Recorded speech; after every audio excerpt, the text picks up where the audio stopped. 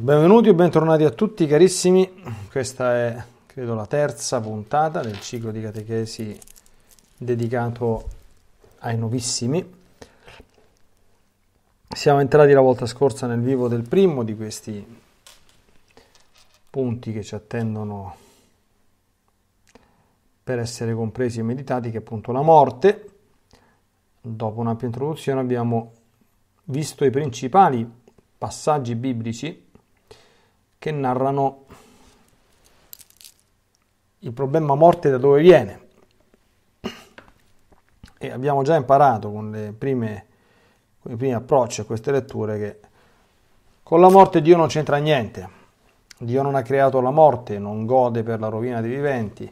Abbiamo sentito eh, affermare chiaramente dal libro della Sapienza che di fatto è un commento e una glossa a quanto la rivelazione narra essere avvenuto con il peccato originale, la minaccia della morte combinata da Dio all'uomo qualora avesse peccato e la realtà della morte dopo il peccato.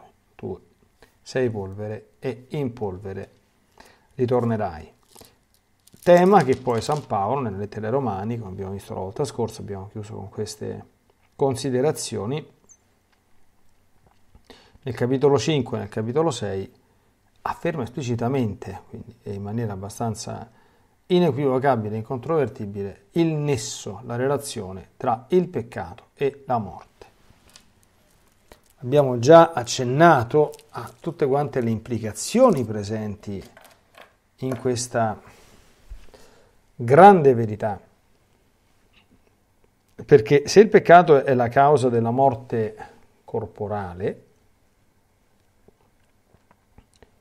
che è il sommo male in questo mondo, cioè tra i mali eh, che si chiamano eh, in, eh, in, teologia fisici, ah, la morte è il peggiore di tutti. Tutti sono terrorizzati dalla morte, tutti cercano di esorcizzare il problema morte, l'abbiamo visto la volta scorsa, molti cercano di esorcizzarlo, eh, ma la morte è una realtà. E se la morte viene dal peccato, il peccato è qualcosa di molto grande ma non solo, la relazione peccato-morte non si chiude, cioè, vabbè, è finita ormai, fatto peccato originale, è data la morte, quindi la morte eh, è una realtà ormai diventata ineluttabile, però vabbè, a questo punto se faccio qualche altro peccato, la morte resta lo stesso, quindi la posso fare tranquillamente. E no, è proprio no, perché il peccato è causa della morte fisica, anzitutto. E questo è il peccato originale in particolare. Ma ogni peccato dell'uomo, quindi ogni peccato attuale, è causa della morte, potremmo definirla ontologica, forse una parola un po' non proprio del tutto adatta, perché ma la morte dell'anima sì, è corretto. Perché l'anima muore quando perde la grazia di Dio e la grazia di Dio si perde con il peccato appunto che si chiama mortale. Perché il peccato si chiama mortale? Perché produce un'ulteriore morte, una morte, attenzione, più grave della morte fisica. Perché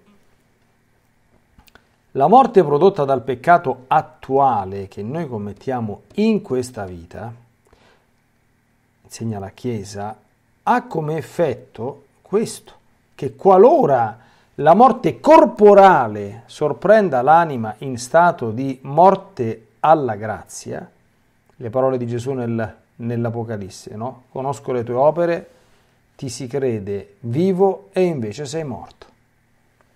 Se ti trova in questo stato, la morte, e poi c'è un problema grosso, perché c'è una terza categoria di morte, che è la morte eterna. Quindi quando noi diciamo morte dobbiamo subito specificare, ma di che morte stiamo parlando? Di morte corporale? Questa San Francesco addirittura la chiamava sorella quindi siamo sicuri che questa morte corporale sia il male assoluto? Poi c'è la morte innescata dal peccato cosiddetto mortale, che è la morte dell'anima, è l'anima morta alla grazia, che ha perso la grazia santificante ricevuta nel battesimo. E poi c'è la morte eterna. Questo è il sommo male da temere, la morte eterna, non la morte corporale. Ma la morte eterna è un male conseguenza, quindi non è che dici se io temo la morte eterna, essa starà lontano da me perché la evito. No. Se temi la morte eterna, questa non starà lontano da te. La morte eterna starà lontana se tu temi di offendere Dio, se tu temi il peccato. Lo temi nel senso che ne stai alla larga come dalla peste bubbonica. Insomma, in, in poche parole,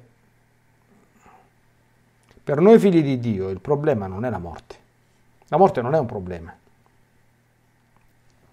Il problema è il peccato. Quello è il sommo male.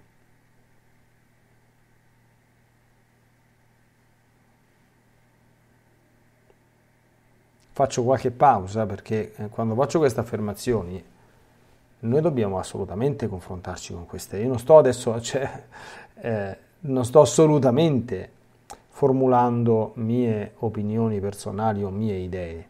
No, no. Basta aprire il catechismo della Chiesa Cattolica, adesso lo, lo, lo, lo vedremo qualcosa, no? O i documenti autentici del Magistero Autentico della Chiesa, prima fra tutti il Concilio di Trento, che vedremo anche questo adesso.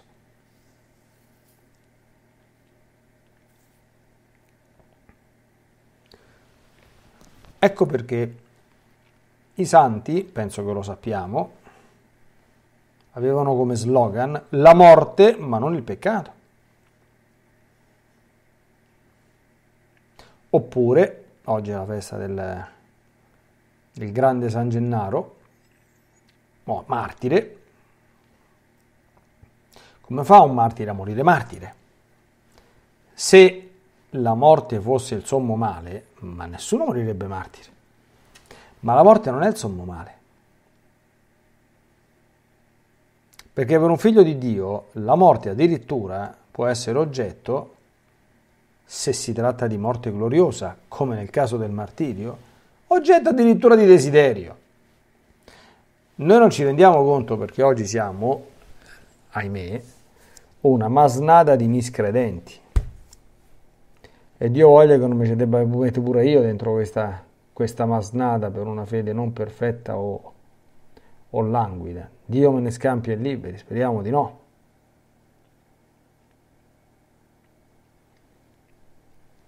Ma quando la fede c'era, morire martire era oggetto di desiderio, di preghiera addirittura.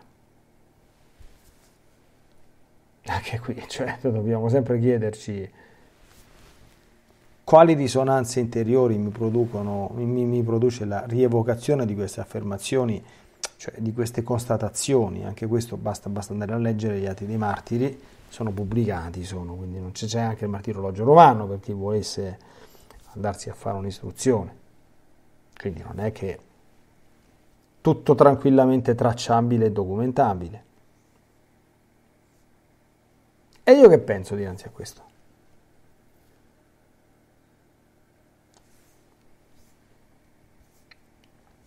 Ora, Concilio di Trento. Sapete che il nesso morte, eh, il nesso peccato morte, eh, ma anche tutta quanta la teologia del, del, peccato originale era stata una delle questioni ampiamente stravolte dalla teologia, prima luterana e poi evidentemente attraverso vari ro- rami, forme e, e, e modalità più o meno distinte però nei concetti essenziali c'è poco da distinguere, no? Il Concilio di Trento, quindi, combattendo l'eresia luterana, afferma: Chi non ammette che il primo uomo, Adamo, avendo trasgredito nel paradiso il comando di Dio, ha perso subito la santità e la giustizia nelle quali era stato creato, ed è in corso per questo peccato di prevaricazione nell'ira e nell'indignazione di Dio e quindi nella morte che Dio gli aveva prima minacciato. E con la morte nella schiavitù di colui che in seguito ebbe il potere della morte, cioè il demonio, e che Adamo per quel peccato di prevaricazione fu peggiorato nell'anima e nel corpo, sia anatema.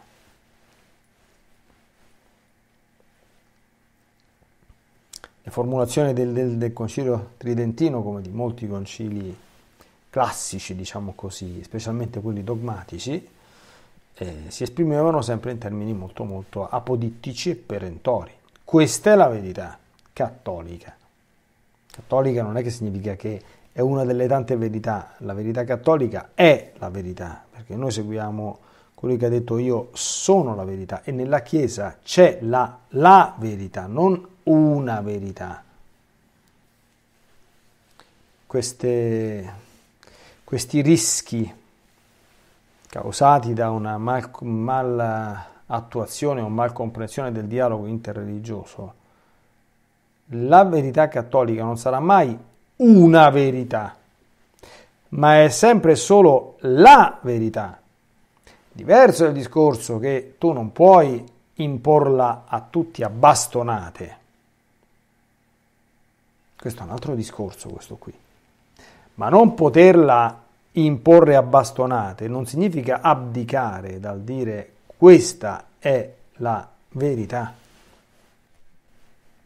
Per farla propria ci vuole un atto di fede, ci vuole una conversione. Però la verità bisogna dirla, amici miei.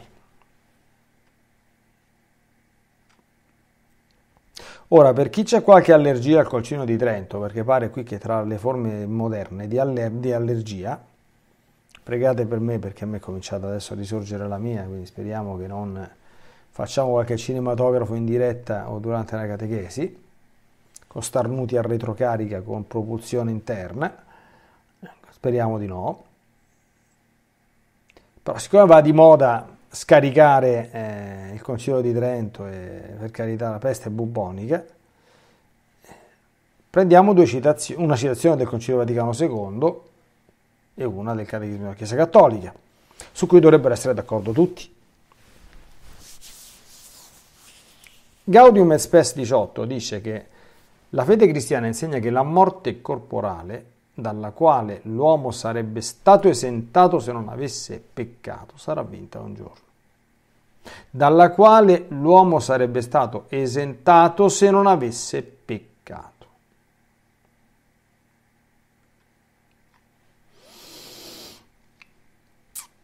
L'immortalità, secondo la sana dottrina cattolica, infatti, era uno di quei doni liberamente elargito dall'Altissimo, si chiamano i doni preternaturali, cioè quelli che superano le condizioni naturali della creatura e che avrebbe conservato l'uomo solo se non avesse peccato. È evidente che avendo peccato perso questo dono preternaturale in questa vita, ma questo dono potrà essere riacquisito non solo un, giorno, ma in forma molto molto più perfetta.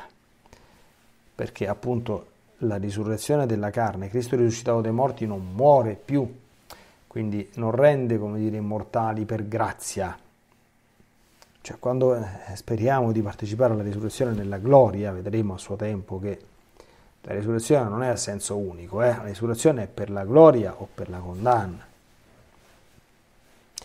Per la gloria la morte sarà ingoiata per sempre, dice la, Sacra Scrittura. Vuol dire che eh, non c'è più potere su di te. Non morirai mai più.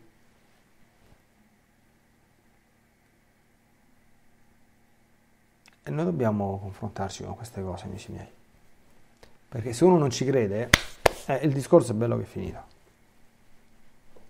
Lo possiamo finire qui. Il Catechismo della Chiesa Cattolica al 1008, 1008, mm, non 1008 nel senso di abbreviazione di 1800, proprio il numero 1008, afferma, interprete autentico delle affermazioni della Sacra Scrittura e della tradizione, il Magistero della Chiesa insegna che la morte è entrata nel mondo a causa del peccato dell'uomo.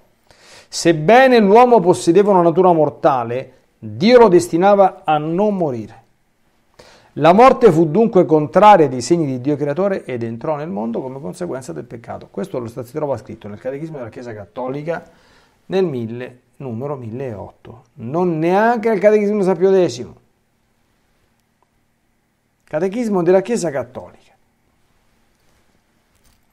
E se su questo non, non sono tutti d'accordo, io non ho proprio a che fargli, nel senso no, che non, noi non possiamo stravolgere la Chiesa o il suo patrimonio non si può. Chi lo fa si mette fuori anche se rimane ancora dentro. E poi verrà un giorno eh, insomma, in cui eh, si andrà a rispondere di quello che si è fatto, come vedremo anche durante questo ciclo di, di catechesi, a Domine Dio, il quale, questo non dimentichiamolo mai, non fa preferenze di persone, Diciamo, ah no, ma io sono un prete, quindi... Ah no, ma io sono un vescovo, quindi... Ah no, ma io sono un cardinale, quindi... Pensate a certi personaggi che Dio li abbia in gloria, speriamo che si possa augurare questo senza ecco, eh, offendere il Signore. Alcuni papi, insomma, hanno veramente non lasciato a desiderare di più, di peggio. quelli sono stati giudicati da, da, Dio. Anzi, più si va in alto, dice il libro della Sapienza, più il giudizio sarà rigoroso. Quindi lo stare in alto non è un'esenzione, capite? Come ah, io, siccome comando io, a me Dio non mi giudica e sottoscrive tutto quello che faccio. No, no, no. Mi dispiace. Ma la verità bisogna sempre dirla. Quindi Fissiamo bene che la morte è conseguenza del peccato e i tre tipi di morte, quindi la morte corporale, la morte dell'anima e la morte eterna.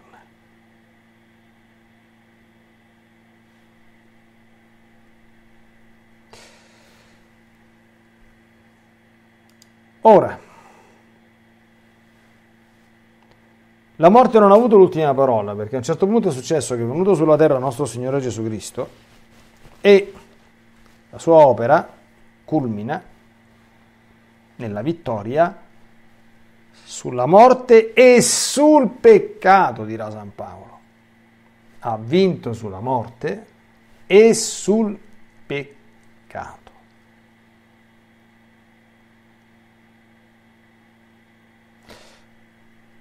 Leggiamo anche qui anzitutto qualche testo biblico veramente di riferimento fondamentale, qualche cult su questo tema, e cioè anzitutto la lettera agli ebrei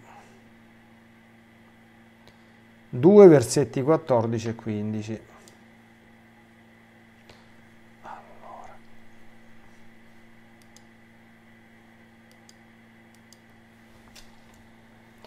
È un passo molto, molto famoso e molto importante Leggo con la traduzione della CE ovviamente del 2008. Poiché dunque i figli hanno in comune il sangue e la carne anche Cristo allo stesso modo ne è divenuto partecipe, per ridurre all'impotenza mediante la morte colui che della morte ha il potere, cioè il diavolo. E liberare così quelli che per timore della morte erano soggetti a schiavitù per tutta la vita. Questo è il primo grande brano che parla di questo argomento. La morte come conseguenza dell'esercizio del potere di Satana, che l'ha, come dire, instillata attraverso il veleno del peccato. Voi sapete che per comprendere come la morte corporale non sia tanta sta tragedia, gli angeli non sono mai passati per la morte corporale, non serve per loro morire. Lucifero non è mai morto. Non è mai morto. E quindi può essere un grande problema la morte corporale? Credo che tutti quanti siamo d'accordo, sempre se rimaniamo nell'ambito della dottrina cattolica, che la dannazione esiste che la morte eterna esiste, eh? E questa è la seconda morte, lo stagno di fuoco, scrive San Giovanni nel libro dell'Apocalisse. E coloro che non erano scritti nel libro della vita andarono incontro alla seconda morte. E questo è lo stagno di fuoco. Stagno di fuoco. Per il diavolo non c'è la morte corporale, ma lo stagno di fuoco, eh, da che ci sta dentro ah, allo stagno di fuoco. Quindi questo teniamolo ben presente. La morte è per noi mortali, cioè che siamo fatti di carne e di sangue, si legge nella lettera agli ebrei. Essendo fatti di carne e di sangue, era possibile incorrere attraverso la morte. E quindi attenzione, cosa ha fatto nostro Signore Gesù Cristo? Noi queste cose dobbiamo capirle, figlioli miei cari. Eh? Dobbiamo capirle nel senso che dobbiamo focalizzarle perché la nostra fede sia una fede capace di rendere ragione, ma sia una fede anche solida. Perché Gesù Cristo è morto in croce? Ma siete mai chiesi? Gesù Cristo è morto in croce per salvarci dal peccato. Ma. E perché? Uno potrebbe dire. Immaginate che ci fosse una persona che non è credente, viene da te e dice tipo, voglio diventare cristiano, voglio battezzare, voglio diventare cattolico. Fammi capire, ma perché Gesù Cristo è morto in croce?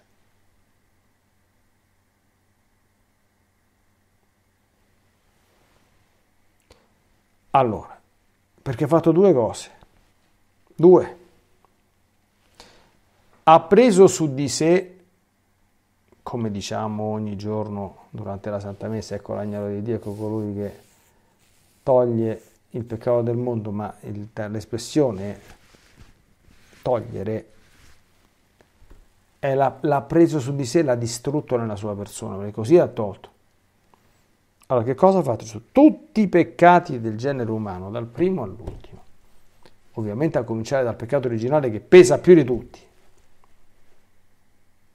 Si sono scaricati sul nostro Signore, tutti, nella loro portata pestifera, mortale.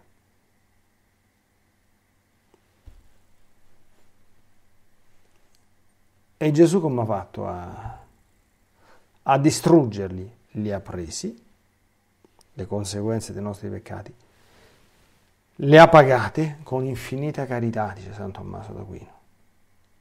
Oh, ma poi però c'era la conseguenza estrema, che è quella che è proprio ineluttabile, la morte. Il Signore della morte il responsabile ultimo della morte, il responsabile prossimo siamo noi, ma il responsabile remoto e quindi il responsabile ultimo della morte è il diavolo, chi vuole che sia. Quindi l'affermazione, ah ma se Dio esistesse non esisterebbe la morte, che non lo so, quando ero giovane qualche, qualche farfaglione, qualche chiacchierone lo andava blaterando, è una bestemmia grossa quanto una casa ma è anche un, un fake, un falso grosso quanto una casa. Perché il Signore della morte, il Signore della morte è il diavolo.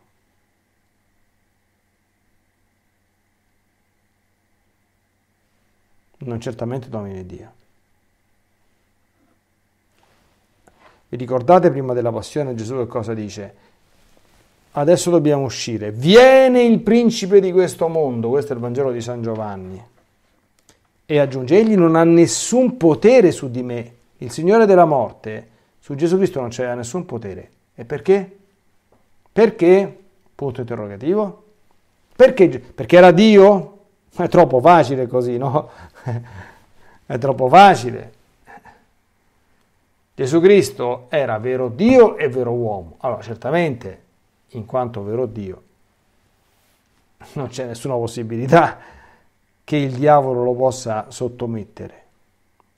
Ma in quanto uomo c'erano due carte da, da giocarsi, no? il peccato originale, che figuriamoci se il nostro Signore l'ha contratto, ma c'era la possibilità del peccato attuale, che il nostro Signore non ha fatto. e quindi egli non ha nessun potere su di me. Zero. Ma proviamo un attimo a fare un'applicazione un po' eh, importante di questi principi. Eh? Questo è un ciclo di catechesi, cioè io vorrei anche che voi capiste come eh, le grandi verità di fede sono tutte quante interconnesse. Il diavolo non ha potere su Gesù, perché? E sulla Madonna, perché? Perché senza peccato. Ma che significa? Significa che il peccato dà potere al diavolo su di te. E qual è la conseguenza di questo? Ma voi immaginate se una persona, se le persone oggi ancora credessero che il marchio maledetto del peccato originale rende il concepito, appena concepito, schiavo di Satana, non è un'espressione, oh, mamma mia, che, che razza di co, che dici? È schiavo di Satana, ma, ma che Ma che esagerazioni! Liberare colui che è soggetto a schiavitù per tutta la vita, si legge in questo passaggio della degli ebrei. Liberarlo. Allora, col battesimo noi non siamo liberati dalla morte corporale, perché quella come conseguenza il Signore ha stabilito che dobbiamo pagarla tutti, a prescindere dal fatto che ci battezziamo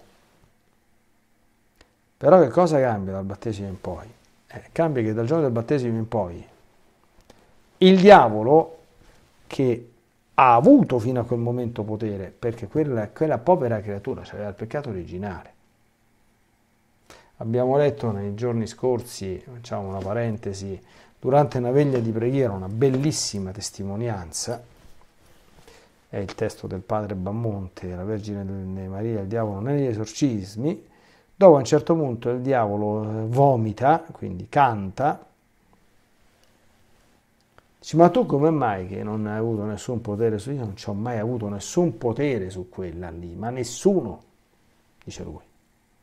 Perché? Perché non c'avevo nessun appiglio. Dove, dove, dove lo esercito il potere? Quella era una fortezza inespugnabile. Dove lo esercito? Peccato originale non ce l'ha non ha commesso nessun peccato, non c'è neanche la macchia del peccato. Che, che, che, che, cosa gli faccio? Ma voi capite quanto è importante quando uno capisce queste cose? Perché se non c'è nessun potere su Gesù Cristo perché non c'è peccato, come faccio io a fare in modo che il diavolo abbia meno potere possibile su di me? Zero non è possibile ma meno potere possibile, meno forza nelle tentazioni, meno possibilità di procurarmi male di origine malefica. Come faccio? Che devo chiamare qualcuno che si inventa chi lo sa quale formula strana per proteggermi con qualche magicissima benedizione dai poteri del diavolo? Attenzione, non sto sminuendo il potere delle benedizioni sacerdotali, lo dico sempre quando dico queste cose qui, eh? Anzi, fareste molto bene se trovaste qualcuno a farvi benedire più possibile. Supposta evidentemente un vostro impegno nella vita di grazia, perché le benedizioni sono degli strumenti formidabili, sono, sono, sacramenti, sono sacramenti, ma sono sacramentali.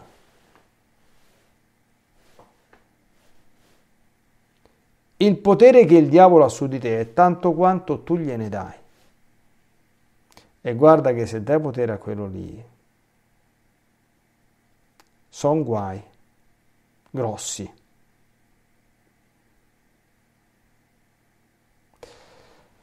Più si pecca e più lui aumenta il potere.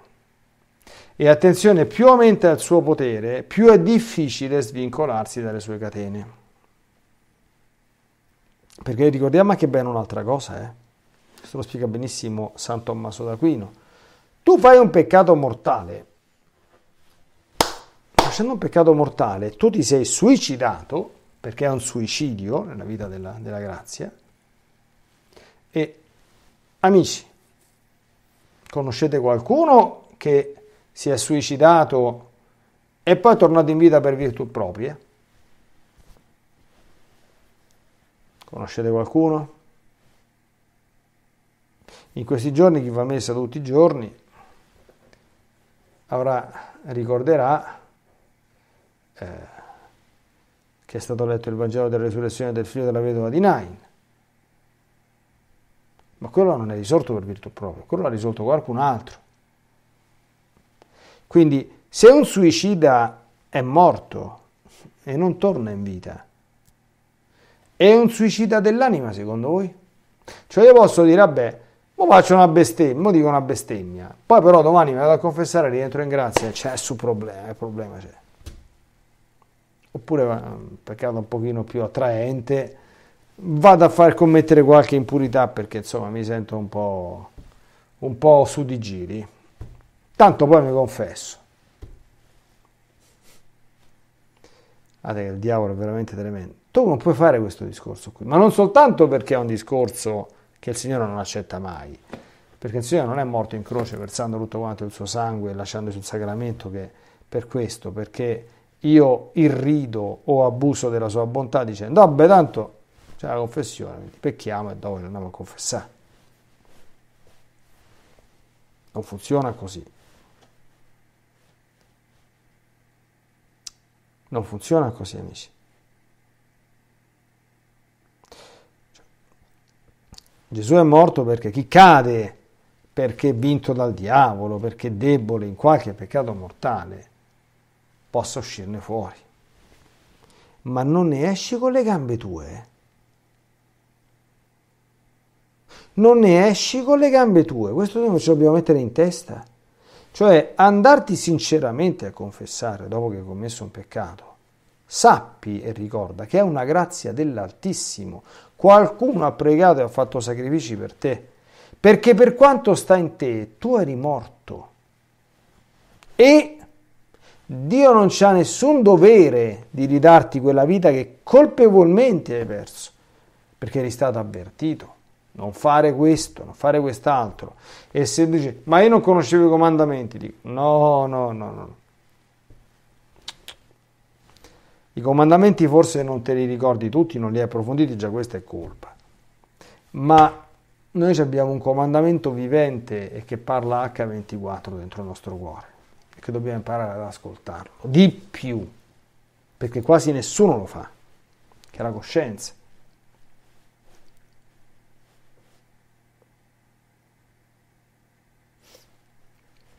Che va esaminata per vedere almeno per quanto ne sono consapevole, se come quanti peccati ho fatto anche oggi o prima che mi vada a confessare, no? Quindi, allora, per chiudere questa, questa, questa parte, no? Se io credessi veramente che il peccato è la causa di tutti mali è la causa della morte, della morte dell'anima e la causa del potere che il diavolo prende su di me. Cosa significa? Sapete cosa significa? Quando, quando, pre, quando il diavolo prende potere, ma il diavolo non è mica come Dio, eh? Ah, il diavolo è un tiranno, il diavolo è un dittatore, il diavolo è, un, è, che è cattivo.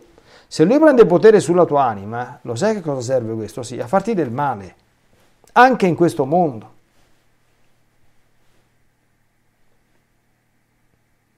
E tu dici, ma Dio sta a guardare? No, Dio non abbandona per grazia e per misericordia quella creatura.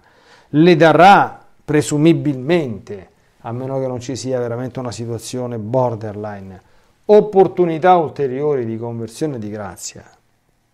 Ma questo non deve diventare uno strumento con cui il peccatore dice, vabbè, tanto, e quindi posso confessarmi tutte le volte? No, Il sangue di Cristo non è acqua, non possiamo mettercelo sotto i piedi. Vuoi stare alla larga dalle, da, dalle, dalle conseguenze del peccato, dalle disgrazie, dalla morte, dalla disoccupazione, da che ti viene qualche brutta malattia di cui sei tanto spaventato e chi lo sa che succede quando mi viene.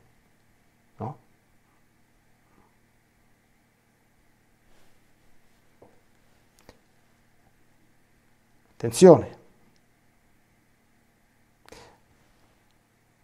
il potere del diavolo su di noi dipende da noi.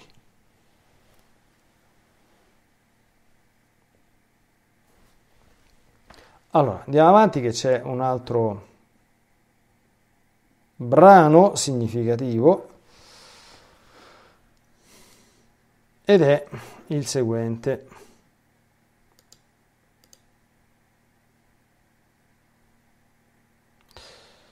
Primo Corinzi 15, 3. Prima lettera Corinzi 15, versetto 3. Lo leggiamo insieme.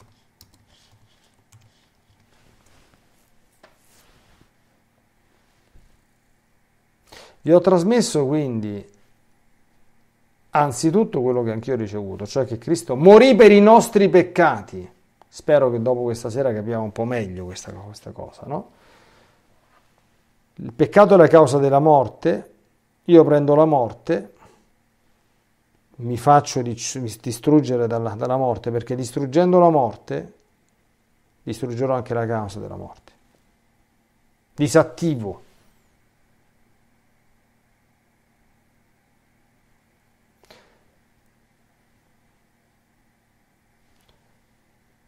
Cristo morì per i nostri peccati secondo le scritture, fu sepolto ed è risuscitato il terzo giorno secondo le scritture.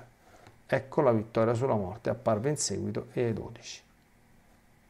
Vedete perché è così importante la risurrezione di Cristo, che certamente è la verità principale, più importante della nostra fede. E per capire perché San Paolo scrive anche questo che va messo tutti i giorni, l'abbiamo sentito qualche giorno fa. Guardate che se Cristo non è risorto, la nostra fede è vana. E che cosa aggiunge? Voi siete ancora nei vostri peccati, perché se Cristo non è risorto, la morte che, la morte che è la conseguenza, con il peccato che è la causa, non sono stati vinti. E quindi siamo ancora tutti soggetti in schiavitù, tutti quanti. Ma così non è.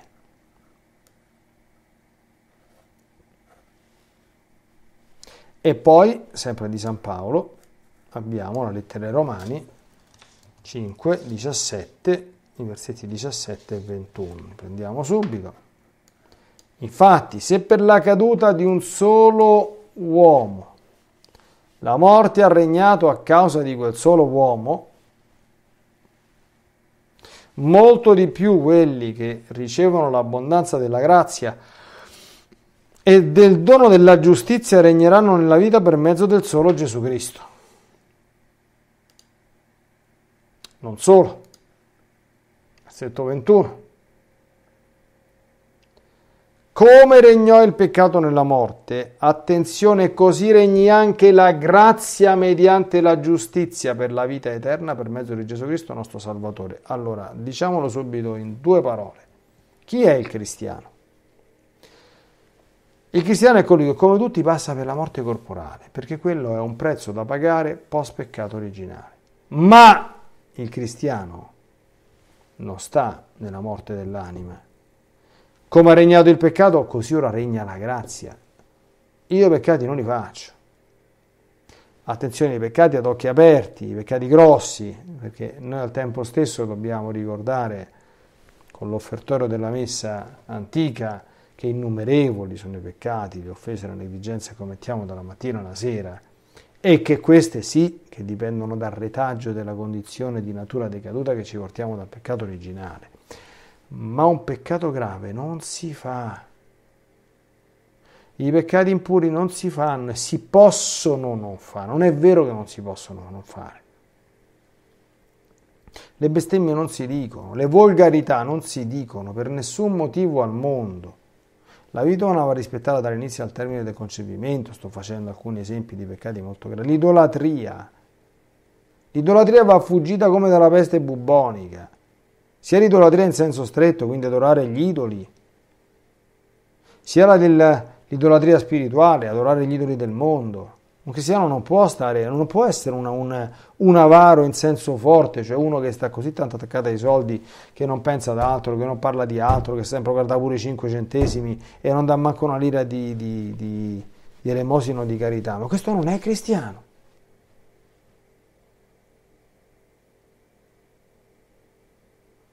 Regni anche la grazia con la giustizia per la vita eterna. Allora, noi la morte corporale sì, ma la morte dell'anima no. e la morte eterna tanto meno. Non dipende questo soltanto, niente di tutto questo dipende soltanto da noi, ma noi dobbiamo metterci la buona volontà però, eh, amici miei.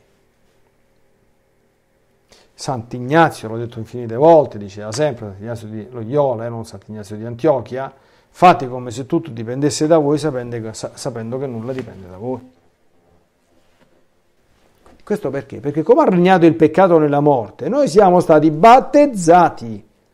Così regna anche la grazia mediante la giustizia per la vita eterna per mezzo di Gesù nostro Signore.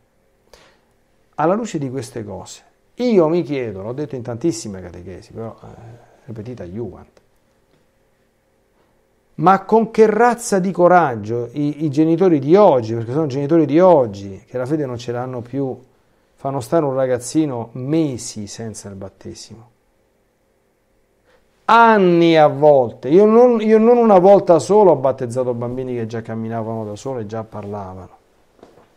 Proprio segno dei nostri sciagurati tempi.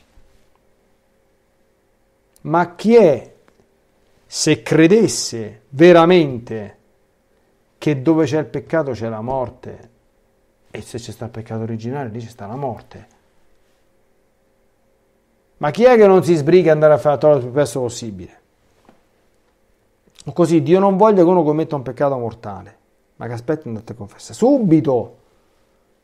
Io ho sempre detto ai fedeli, non fa quasi nessuno, che per le confessioni disponibili di giorno e di notte, cioè facciamo un esempio, sto facendo la, la diretta, supponiamo che una persona si attaccasse al citofono che è attivo, no? Magari se fa soltanto una citofonata non gli rispondo perché, ma se una persona si attaccasse adesso al citofono vuol dire che c'è un'urgenza, c'è qualcosa di grosso, sta morendo qualcuno o, o vuole confessarsi? Allora vi direi subito, amici, quanto stiamo? Siamo a 42 minuti. Lexio brevis, catechesi finita, mi chiamano a confessare. Io vado.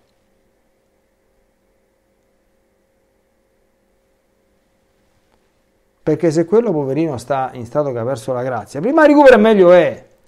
Ma no, chiamiamo domani mattina al parroco, adesso andiamo a dormire. No, non ho chiamato domani mattina, vieni subito, vieni. Certo, se mi interrompi una catechesi mi chiama alle due di notte per venire a che hai detto, che ne so, le bugie di scusa, ok, fatto qualche atto di superbio, che c'è avuto qualche scatto di impazienza, magari questo si può aspettare domani mattina.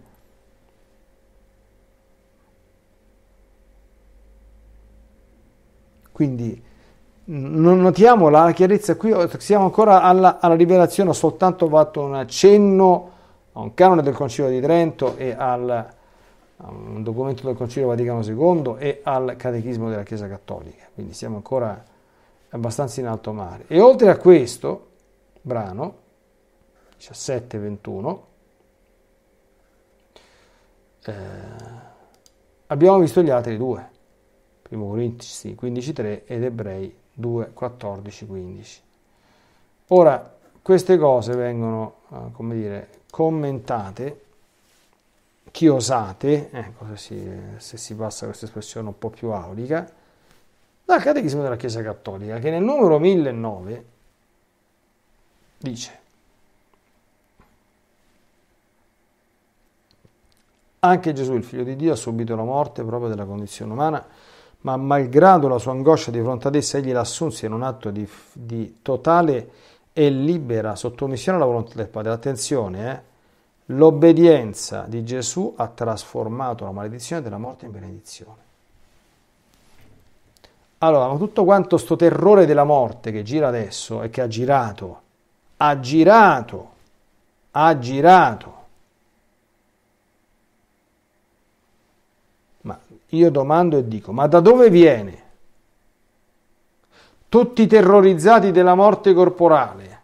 Ma c'è qualcuno che è terrorizzato della morte dell'anima? Che c'è molto da essere, c'è molto di più da essere terrorizzato della morte dell'anima? La risposta è no.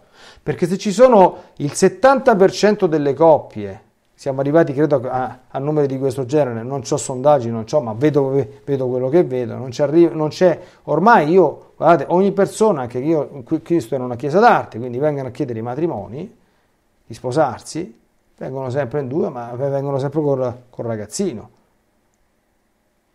Che cosa vuol dire? Vuol dire che stanno convivendo. Questo peccato mortale non è un peccato di gola. E loro stavano tranquilli con... Ma proprio zero.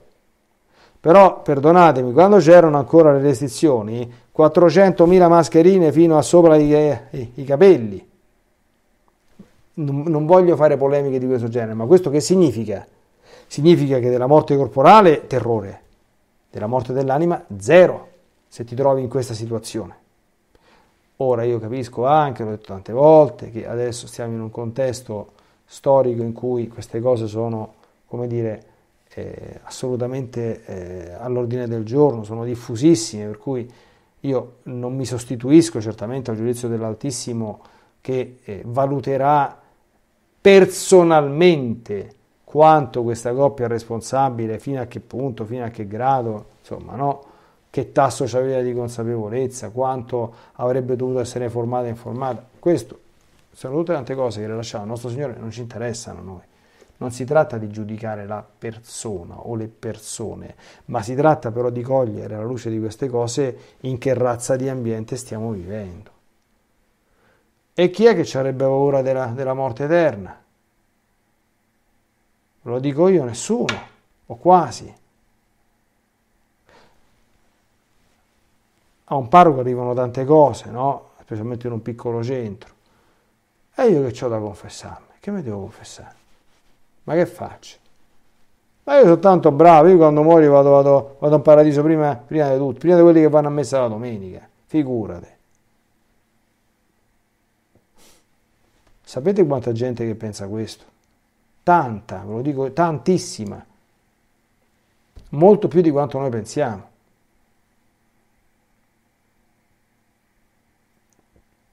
Quindi, paura della morte eterna, Qualcuno addirittura pensa che non, dice, dice che non esiste, ma voi capite che criminali che sono.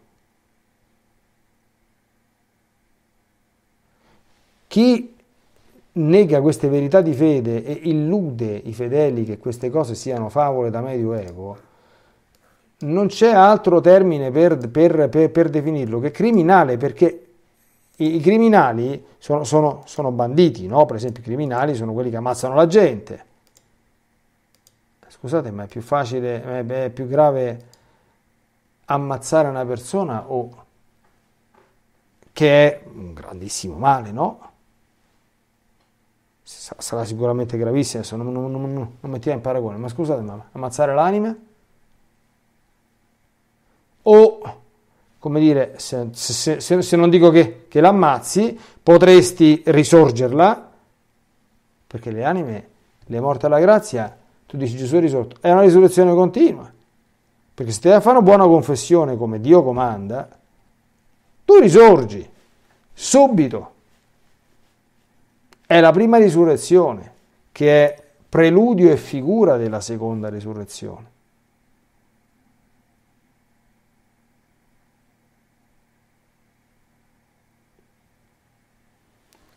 E un cristiano come si relaziona nei confronti della, della morte? Tu, io, quando pensi alla morte, a che pensi? ripeto quello che, che, dico in continuazione, mettili davanti a Dio. Sapete le grandi meditazioni, uh, se prendete anche, anche, anche la filotea di San Francesco di Sal, no? Negli, nei, nei, primi capitoli dove sono gli esercizi preparatori, ah, state proprio tranquilli che una delle meditazioni obbligata, un cult, è la meditazione sulla morte. Allora, vedi come sono fatte quelle, quelle meditazioni? Se tu ti metti, immaginati il giorno della tua morte, come sarai arrivato? Ci avrai debiti da pagare? Ci avrai situazioni eh, come so, di, di, mancate riconciliazioni ancora non, non risolte? Scandali non riparati? Peccati non confessati? Queste meditazioni fatte da santi San Francesco di Sale è passata alla storia come santo della dolcezza, quindi non certamente come il terrorista talebano. Andate a leggere la meditazione sulla morte di, Santa, di, di San Francesco di Sale. Eh, se, se, la fai, io l'ho fatta tanti altissimi anni fa perché lessi la filotea e feci quella consacrazione alla vita devota. Eh. Stavo in seminario, c'è questa cosa qua.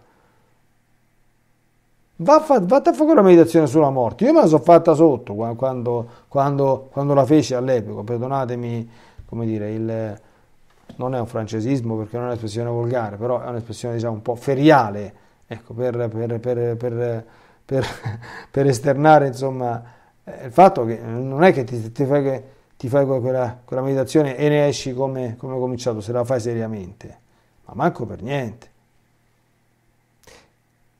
e che venga un pochino di salutare paura della morte corporale in quest'unico senso, solo in questo senso si può ammettere una paura della morte corporale, cioè io non sono pronto. Se mi prende oggi me ne vado all'inferno, quindi Signore posticipami un po' la morte corporale in modo tale che me posso rimettere. Ma solo questo però. Questo sì, questo, questo va bene.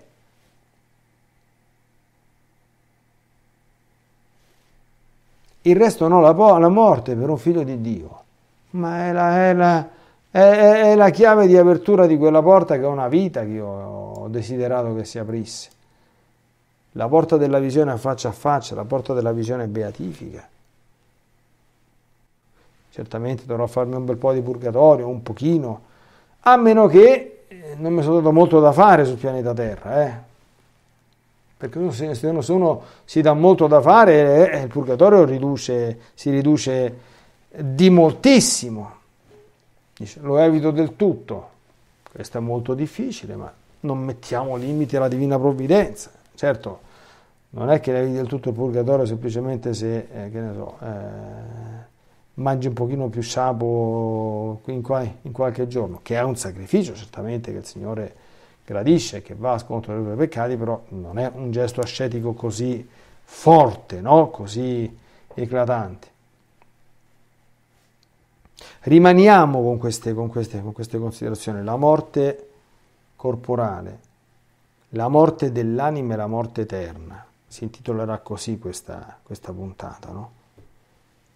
Qual, è, qual è quella che ci fa più paura? Provate a farvi questa domanda. Quale, quale ti fa più paura? La morte o la grazia? No? La morte dell'anima. La morte del corpo o la morte eterna? Qual è che ti fa più paura di queste tre? Davanti a Dio, non davanti a me, eh? Poi se qualcuno volesse fare la meditazione sulla morte, c'è la filotea, se mi posso permettere, tanto questo è una cosa del tutto, lo faccia che ti fa bene, ci fa bene ogni tanto. L'abbiamo visto credo nelle volte scorse, perdonatemi che la mia testolina purtroppo è...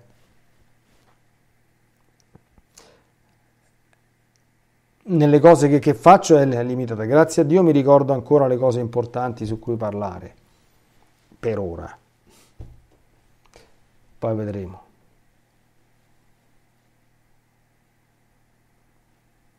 Quindi l'importanza di fare questa, di, di, di, di, collocarsi, di mettersi. Tu che dici? Come stai dinanzi a questo problema? La gente la morte la, la esorcizza oggi, non ci pensano, abbiamo già visto. Ma questo è, una, è un disastro assoluto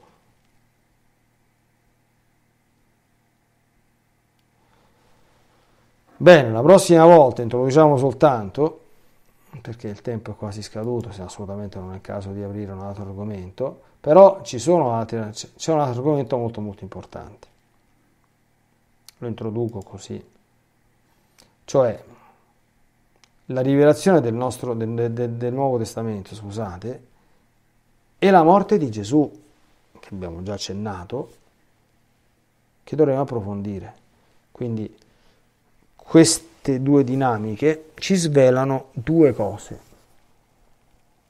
sulla morte ulteriore. Uno che essa è espiazione del peccato ed è introduzione alla vita eterna, lo vedremo la prossima volta, io posso già accennare qualcosa. Cioè, eh, se la morte è stata inflitta da nostro Signore come castigo estremo del peccato originale, è chiaro che la morte è un atto di espiazione. Nella meditazione sulla morte dici, eh, accetto Signore che morirò quando tu vorrai, come tu vorrai, allora che tu vorrai, dice. Ma ci saranno le persone care ad assistermi, quello che Dio vuole. Ma mi daranno una degna sepoltura, ma quello che Dio vuole. Certo, consiglio a chi non è molto amante di queste nuove pratiche, perché qui qua, qua a quanto pare vanno molto di moda di lasciare scritto da qualche parte, magari in un testamentino olografo, che non vuole per esempio essere cremato. Se no oggi con estrema facilità si va al forno, eh? quindi espiazione dal peccato e introduzione alla vita eterna. Se ti dovessero dire c'hai tre giorni di vita, tu come reagisci? Tre giorni di vita non, c'è, non, c'è, non sta purtroppo tempo di andare a riparare troppi peccati. Però che fai? Che fai? Dobbiamo chiedercele queste cose. Ripeto, questo ciclo di catechesi sarà importante perché ci pone dinanzi a delle realtà che è semplicemente folle non considerare. Ed è assolutamente invece fruttuoso farlo come stiamo cercando di cominciare a fare. Bene amici, vi saluto, vi ringrazio per chi ha seguito la diretta, anche stasera molto numerosi, e vi do come vi concedo la mia con la benedizione, Dio vi benedica e la Santa Vergine sempre dovunque tutti vi protegga. Amen.